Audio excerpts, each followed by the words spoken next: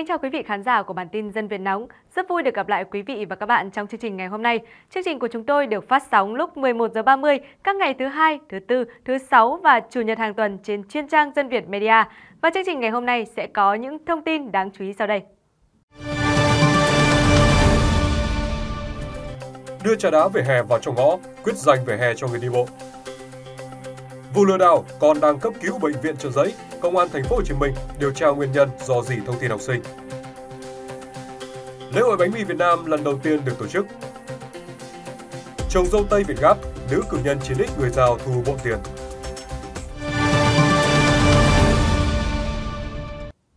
Tiếp theo xin mời quý vị và các bạn cùng theo dõi những thông tin chi tiết. Liên quan đến các vụ gọi điện lừa đảo chuyển tiền cấp cứu cho con gặp tai nạn, phía công an thành phố Hồ Chí Minh cho rằng thông tin cá nhân phụ huynh, học sinh có thể lọt qua nhiều hình thức như lỗ hổng bảo mật, dữ liệu do các đơn vị doanh nghiệp, cửa hàng thu thập bị lộ.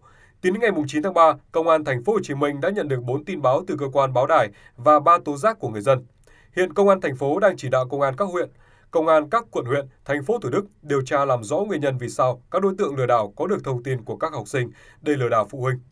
Để chủ động trong công tác phòng ngừa, Công an thành phố Hồ Chí Minh đã phối hợp với các cơ quan báo chí, phát thanh, truyền hình tuyên truyền khuyến cáo những phương thức, thủ đoạn lừa đảo để người dân cảnh giác và phòng tránh.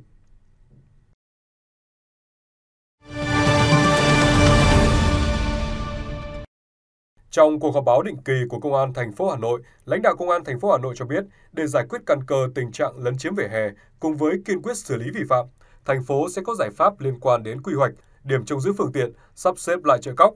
Trước băn khoăn lập lại trật tự đô thị có thể ảnh hưởng đến cuộc sống của nhiều người, qua đánh giá, số người bám vỉa hè mưu sinh không nhiều. Các trường hợp kinh doanh nhỏ lẻ, bán trà đá sẽ được tính toán đưa vào trong ngõ.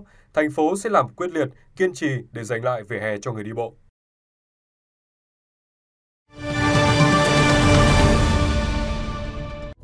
Chiều ngày 9 tháng 3, Sở Du lịch Thành phố Hồ Chí Minh cho biết lễ hội bánh mì lần thứ nhất sẽ được tổ chức từ ngày 30 tháng 3 đến ngày 2 tháng 4 tại Thành phố Hồ Chí Minh. Đây là sự kiện nhằm ghi nhận những giá trị mà bánh mì đem lại đối với nền ẩm thực nước nhà, đồng thời lan tỏa mạnh mẽ hơn giá trị của chiếc bánh mì Việt Nam đến với người dân trong nước và bạn bè quốc tế, cũng như mong muốn tạo điều kiện phát huy tối đa tay nghề, sức sáng tạo của những nghệ nhân và người thợ làm bánh mì.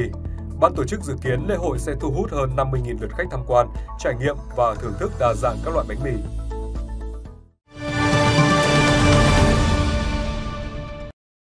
Hôm nay ngày 10 tháng 3, lễ hội cà phê Buôn Ma Thuột lần thứ 8 năm 2023 với chủ đề Buôn Ma Thuột, điểm đến của cà phê thế giới sẽ chính thức khai mạc tại quảng trường mùng 10 tháng 3, thành phố Buôn Ma Thuột.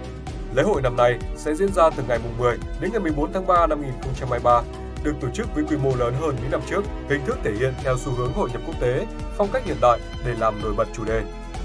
Lễ hội cà phê Buôn Ma thuật lần thứ 8 có gần 500 quán cà phê đăng ký tham gia chương trình mời khách hàng uống cà phê miễn phí. Cụ thể, chương trình này sẽ diễn ra trong hôm nay, ngày 10 tháng 3.